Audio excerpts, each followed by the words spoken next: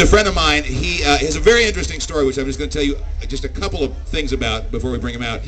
He started out at the age of 12 preaching the gospel The gospel. and the gospel, the gospel the gospel. in the South, and didn't realize at the time he was a gay man, but went up, went through college, was struggling with his sexuality, as many of us have. Entered Exodus, the ex-gay movement. Tried it for six years to eliminate, you know, the demon inside, and it didn't work. Thank God, because now we have a wonderful gospel according to Levi Kreis. Ladies and gentlemen. That's all well and good, but he's hot as hell, ah, y'all. Let's have it. Let's hear it for Mr. Levi Bye. Kreis. If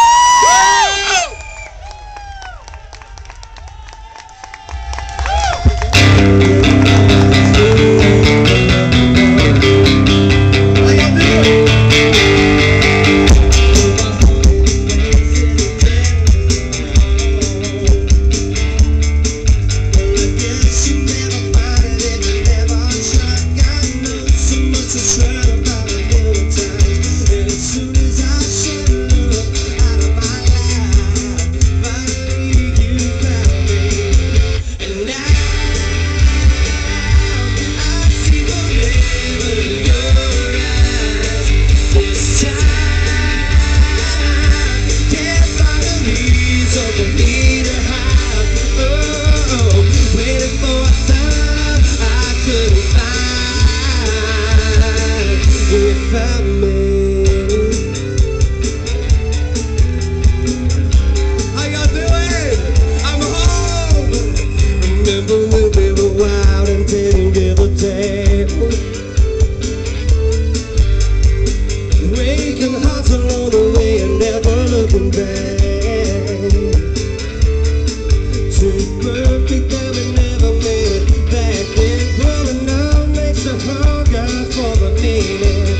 just when I had